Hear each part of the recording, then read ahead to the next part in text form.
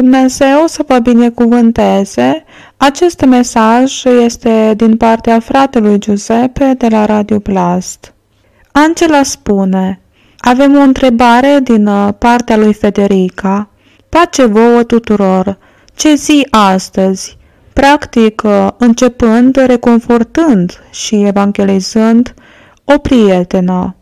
Apoi am continuat cu a mea nepoată, apoi după amiază cu a mea cumnată, care m-a ascultat pentru mult timp. Apoi am continuat cu a mea mamă, care este mult legată la o doctrină la care se luptă a se desprinde. De fapt, am avut o discuție cu ea pentru un lucru și vreau să vă întreb un consiliu. Dacă puteți să mă ajutați, aș fi recunoscătoare. Discuția s-a născut pe subiectul Euharistiei. În Biserica Catolică se adoră cel mai sfânt sacrament și de multe ori sunt ore de adorare pe cel mai sfânt, dar eu la lumina lucrurilor care am înțeles în ultimul timp. Am înțeles că Isus este pentru noi pâine vie coborâtă din cer, a mărturisi al nostru suflet, a noastre păcate. Așa că, în vremurile străvechi, Dumnezeu a făcut să coboare mâna din cer pentru a hrăni poporul protejat. Dar Isus este viu în noi. În momentul în care mâncăm pâinea consacrată, ori a lui prezență este și gazda consacrată, care este și obiectul de cult. Puteți să-mi explicați ce este efectivă instituția Euharistiei? Apoi vreau să știu cum pot să fac pentru a vă trimite ceva ca o ofertă pentru a vă mulțumi de iubirea voastră și disponibilitate. Aștept a voastre vești, un sărut și o mare îmbrățișare, spune Angela. Atunci, pentru acei care vrea să dea oferte, funcționează în acest mod. Dacă vă duceți uh, pe pagina de la Radio Blast, unde este sus la dreapta, apăsați pe Doinet și prin acest Doinet primim ofertele pe care frații ne le trimit, spune fratele Giuseppe. Am vorbit despre oferte, că Dumnezeu să binecuvânteze pe frații care ne le trimit. Ne oferiți o șansă de a merge înainte, dar și fraților care nu ne trimit, vă reamintim că vă răspundem la fel. Vă dăm uh, prioritate la fel și atât, pentru că suntem un radio gratuit, o biserică gratuită. Amin. Dar Dumnezeu să-i binecuvânteze pe acei care ne ajută, mulțumesc și slavă lui Dumnezeu. Prima întrebare, Isus este viu în noi când mâncăm pâine sfințită? Deci unul când primește comuniunea, Euharistia, pâinea, primește mântuirea? Acesta nu este scris în Biblie. Asta este religia care spune așa, să zicem Euharistia catolicilor, cina protestanților, ca botezul în apă, nu? Vine foarte mult uh, instrumentat în funcție de fiecare religie să se facă în baza a lor doctrină. Isus a spus, corpul meu, mâncați-l în amintirea mea. Apoi a luat cupa și a spus, acesta este sângele meu, beți-l. Deci nu a spus, bea asta și ești mântuit. Mănâncă asta și ești mântuit. Pentru că Iuda a făcut comuniune și ce s-a întâmplat? S-a mântuit? Nu se știe. Și Hitler făcea comuniune, era catolic și Stalin la fel. Erau catolici botezați, comuniune, pâine și vin și așa mai departe. Erau salvați Stalin și Hitler? Nu cred, de la fapte se înțelegea dacă erau deja mântuiți. Așa că această poveste că mâncând comuniunea și primești mântuirea nu este biblic nicăieri. Cu toate acestea, este o operație mecanică, materială, fizică, în schimb mântuirea este complet spirituală. Este acela răstignit lângă Isus care Isus îi spuse, azi vei fi cu mine în paradis. Dar era un tâlhar care tocmai mărturisise că noi merităm să murim, așa că nu era prea mult religios. Nu a făcut nicio comuniune, niciun botez în apă și apoi Isus îi spune, astăzi vei fi cu mine în paradis. Ce demonstrează asta? Că toate aceste povești, dacă tu ai botezul penticostal, dacă tu ai Euharistia catolică, dar nu sunt biblice, pentru că apa nu îți dă nimic. Da, înainte botezul în apă era indispensabil, dar când a venit Pentecosta, asta că lumea nu reușește să înțeleagă, că Pentecosta a luat locul apei. Așa că apa lui Dumnezeu, apa spirituală, a luat locul apei fizice, apa fântânii, dar este greșit a face botezul în apă? Nu este greșit, pentru că l-am făcut și eu, doar că nu mi-a dat nimic. A fost botezul uh, în spirit cu mult timp înainte care m-a schimbat. Și când uh, am făcut botezul uh, în apă, după nu mi-a dat nimic. Deci Euharistia nici într-o parte nu spune, uite, citim o scriptură, este inutil să vorbim doar, pentru că aici facem să vorbească Biblia, pentru că dacă nu, ne trimit e-mail frații catolici, pot să fie puțin supărați, dar eu vă vreau binele. Dar aici ne oprim pentru a fi jucăria catolicilor sau protestanților. Dar aici vă rog, ne ducem în Biblie.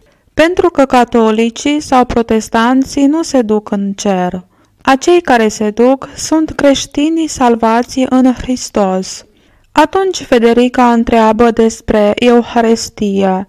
Când unul mănâncă pâine, corpul lui Isus, înseamnă că Isus uh, trăiește înăuntrul acelei persoane, așa că primește mântuirea? Și noi am studiat Ioan 6 despre asta.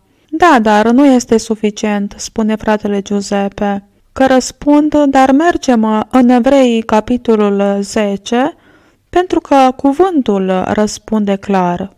Și pe când orice preot face slujba în fiecare zi și aduce de multe ori aceleași jertfe, care niciodată nu pot șterge păcatele și sacrificiile pe care le fac preoții. Isus, din potrivă, după ce a adus o singură jertfă pentru păcate, s-a așezat pentru totdeauna la dreapta lui Dumnezeu și așteaptă de acum ca vrăjmașii lui să-i fie făcut așternut al picioarelor lui, căci pentru o singură jertfă el a făcut de săvârșiți pentru totdeauna pe cei ce sunt sfințiți. Lucrul acesta ne-l adeverește și Duhul Sfânt căci după ce a zis, Iată legământul pe care îl voi face cu ei după acelea zile. Zice Domnul, voi pune legele mele în inimile lor și le voi scrie în mintea lor și el adaugă, și nu mi voi aduce aminte de păcatele lor, nici de fără de legile lor. Dar acolo unde este iertare de păcate, nu mai este nevoie de jertfă fără păcat. Astfel, dar fraților, fiindcă prin sângele lui Isus avem o intrare slobodă în locul preasfânt, am citit Evrei capitolul 10 cu versetul 11 la 19. Slavă Domnului! Citim o altă scriptură, Evrei capitolul 7 cu versetul 25. De aceea și poate să mântuiască în chip desăvârșit pe cei ce se apropie de Dumnezeu prin el, pentru că trăiește pururea ca să mijlocească pentru ei. Și o altă scriptură în Galatenii, capitolul 4, cu versetul 6. Și pentru că sunteți fiii, Dumnezeu ne-a trimis în inimă Duhul Fiului Său, care strigă, Ava, adică Tată. Deci acum Spiritul lui Isus în a noastre inimi nu avem nevoie să ne ducem la Isus. Nu avem nevoie de a ne duce la o religie, a lua comuniune pentru a ne duce la Isus. Doar că comuniunea este o tradiție la care Isus a comandat? Da, doar că nu este că îți dă mântuirea de fiecare dată. De fapt, ne întoarcem la Evrei, capitolul 10, cu versetul 14 și îl citim din nou. Căci printr-o singură jertfă El a făcut de săvârșiți pentru totdeauna pe cei ce sunt sfințiți. Atunci spuneți perfecți, până săptămâna viitoare, ori până la următorul păcat. Nu, perfecți pentru totdeauna, așa că Euharestia este un lucru religios. Religiile sfințesc lucrurile, le fac să devină cele mai sfinte, așa de înalte, în care nimeni să nu poată să le ajungă. Aici este nevoie de preot. În teorie este puțin ca în unele biserici protestante, să zicem fără păstor, în care păstorul devine ca un mic Dumnezeu, puțin ca Madonna, adică Maria de mijlocire a catolicilor. În realitate, Maria adevărată din Biblie nu a intervenit nimic. Este pur și simplu o credincioasă ca alții. De fapt, Isus a spus între născuții din femei, niciuna nu este mai mare decât Ioan Botezătorul. Ioan Botezătorul este superior de Maria, pentru că spune că nimeni nu este superior de Ioan Botezătorul. Cum se vede, sunt lucruri multe doctrinale care religiile au creat. Trebuie să facem comuniune? Da, sigur, este așa. De a continua a iubi pe Dumnezeu, a continua a ne iubi unii pe alții, a continua a citi Biblia, a continua a face comuniunea, dar continuând a citi Biblia nu îți dă mântuirea. Continua a lua comuniunea, care este și drept, este pentru a ne aduce aminte de Isus. Nu spune în fiecare zi, în fiecare săptămână, în fiecare lună, în fiecare an, când o faceți. Amin. Așa că a continua a face comuniune este la fel ca și cum a continua a citi Biblia. Nu îți dă mântuirea dacă o ai deja. Galatenii, capitolul 4, cu versetul 6. Aici spune că Duhul lui Hristos este în inima ta și este Duhul lui Hristos care mijlocește pentru noi, cum spune în epistola lui Ioan. 1 Ioan, capitolul 2, cu versetul 1 și 2. Copilașilor, vă scriu aceste lucruri ca să nu păcătuiți. Dar dacă cineva a păcătuit, avem la Tatăl un mijlocitor, pe Iisus Hristos cel neprihănit.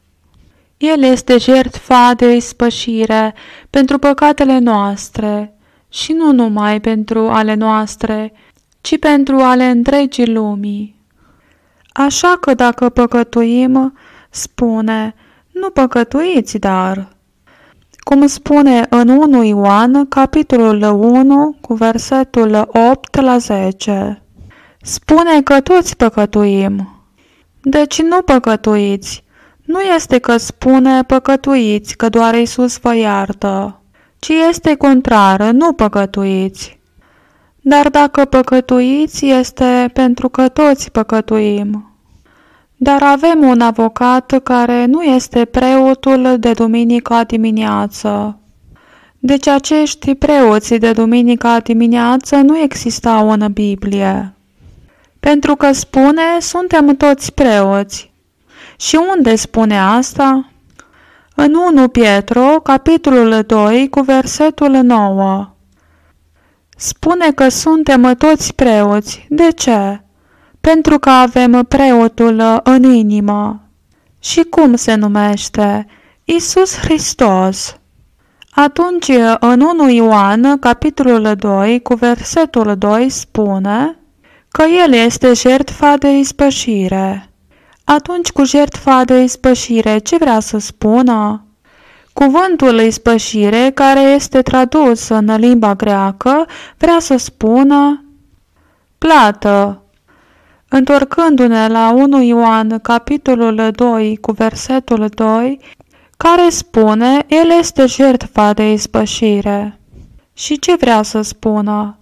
Sacrificiul pe care plătește pentru ale noastre păcate. Nu spune că a plătit pe cruce, nu, ci spune că plătește, deci a început de la cruce și continuă să plătească. De ce? Pentru că noi continuăm să păcătuim și atunci Isus continuă a ne ierta. Deci când tu te duci în cer și faci un păcat, pentru că și în cer poți să faci păcate și atunci Isus te iartă și în cer.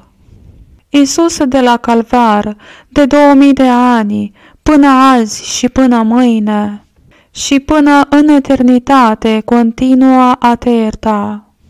Este puțin ca tu când faci un păcat și continui să îți ceri scuze și eu atunci te iert. Și mâine faci un alt păcat și îți cer scuze și eu atunci te iert din nou. Așa că Isus, din momentul de la moartea în cruce, a început să ne ierte și continua să o facă. Atunci Isus, așa cum am spus în Evrei capitolul 10, odată a murit, a plătit pentru ale noastre păcate și pentru totdeauna suntem salvați. Odată pentru totdeauna a plătit și apoi a devenit al nostru avocat. Exact acum este avocatul în a noastră inimă. Și este ispășirea, ce vrea să spună? Repet, înseamnă plătit. Nu spune că a plătit pe cruce și dacă acum păcătuiești, el nu mai plătește deloc. Nu spune asta. Nu spune a fost plătit, ci spune este plătit. Când au scris Biblia, Duhul Sfânt înțelegea între prezent și trecut și viitor. De ce aceste religii au uh, acești preoți? Întreabă-i pe ei. Se vede că nu au mai citit 1 uh, Petru, capitolul 2, cu versetul 9, aceea care Biblia spune. Voi însă sunteți o semințe aleasă, o preoție împărătească, un neam sfânt, un popor pe care Dumnezeu și l-a câștigat ca să fie al lui, ca să vestiți puterile minunate ale celui ce v-a chemat din întuneric la lumina sa minunată. Așa că ce spune aici? Este de ajuns această scriptură a dezlănțui toate doctrinele religioase. Voi sunteți aleși, așa că vrea să spună că noi suntem aleși. Sunteți uh, o preoție împărătească. Ce înseamnă împărătească? Este ceva divin și de a lui împărăție ne-a numit preoți, dar nu numiți de oameni. Cred că au un cuvânt care se numește misterial, dar noi suntem uh, preoți împărătești și din momentul în care ai primit pe Isus Hristos, ai devenit preot. Preoteasă. Azi o femeie care face slujbă, chiar dacă în multe religii nu se folosește. Dar uh, nu trebuie nici slujba, pentru că ce este slujba? Să zicem, uh, un serviciu lui Dumnezeu, o adorare, o rugăciune. Nu trebuie să mă duc uh, duminică dimineață la biserică. De ce? Pentru că o fac în toate zilele, în fiecare zi îl ador pe Domnul. Comuniunea eu o fac liniștit în casa mea, în casa ta, chiar și într-o biserică, pentru că și într-o biserică se poate face. Deci, în Biblie nu era unul care era de o profesie care trebuia să mărturisească. Nu a mai existat. Spune Iacov capitolul 5 cu versetul 6. Ce spune? Mărturisiți-vă păcatele unor altora. Deci nu spune la preot, dar du-te și mărturisește la soț ce ai făcut cu soția lui. De exemplu, spui, eu cu soția ta am comis adulter. Du-te la omul care i-ai furat soția și mărturisește, nu la preot. Așa că este foarte puternică această scriptură. Evrei, capitolul 10, cu versetul 14 Căci printr-o singură jertfă, El a făcut de săvârșiți pentru totdeauna pe cei ce sunt sfințiți. Atunci respectăm toate religiile pentru iubirea lui Dumnezeu. Dar când sfințesc prea mult pentru a evita foarte mult sfințirea, care îndepărtează pe Domnul, lumina care nimeni nu poate să o ajungă. Au pus mântuirea la nivelul în care erau sfinții, iar la statui a pupat picioarele. În schimb, Isus a venit la prostituate, vameși, la acea lume din strade și așa mai departe. Și pentru a se face văzut, s-a făcut om și dormea sub copaci. Așa că vă rog de a încerca a nu sfinți prea mult lucrurile, pentru că Biblia spune să nu fiți prea mulți drepți. Amin.